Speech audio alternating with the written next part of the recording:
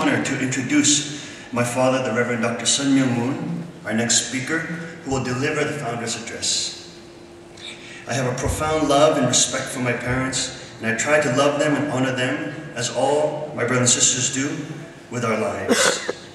However, I've come to realize very deeply that my own understanding of them in the past has been quite limited.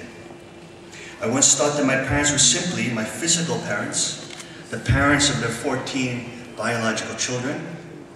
And as many of you know, in our tradition we recognize true parents as a second coming of Christ, the Lord of the second advent, Amen. the true parents. And in this position, they stand as a spirit to all God's children as Jesus would, had he not True parents' life course has not always been happy and with smiles. That has been one of inheriting the true love of God, the most difficult path, perfecting that true love and bequeathing it to humankind. In this way, true parents have led the way in the liberation of God, and each one of us is called to do our best to follow that example. In carrying out their providential mission, they have, like Christ, suffered, been tortured, been imprisoned, scorned, mocked, and hated for our sake. Like Christ, they have taken on the burdens of our sins and made a way for us to be forgiven by God. Like Christ, they have suffered the torment and damnation that we would deserve for our sins, and have paid the price for us to once again come before God justified as sons and daughters. For who amongst us is without sin? This is a path of Christ, and a path that our true parents have walked. Please be advised that, like Jesus, Father Moon does not speak to please our ears or the ears of the world.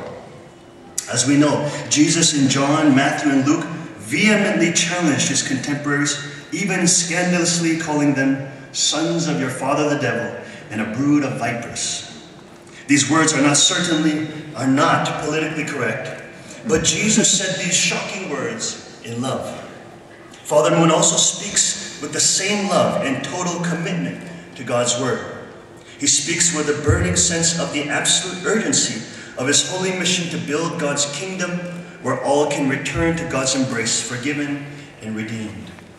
He does not speak to stroke our egos, but to liberate us from our egos. Amen. He continues at the age of 92 to proclaim the word of God around the world, literally at the risk of his life. In the process of his candid speaking, he will no doubt challenge some of our most firmly held beliefs. But if we can open our spiritual eyes to see and our ears to hear, we will catch a glimpse of a loving God crying out and calling out to his children whose hearts need his forgiveness, his grace, and his love. In order to usher in a new era of registration of the kingdom of heaven that brings an end to war